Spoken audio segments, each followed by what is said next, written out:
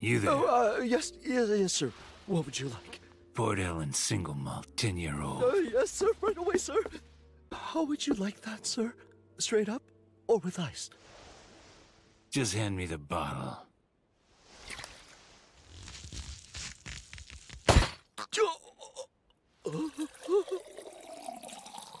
He's gonna drink a 140 proof thousand dollar bottle of scotch like it was a two dollar light beer. Mm.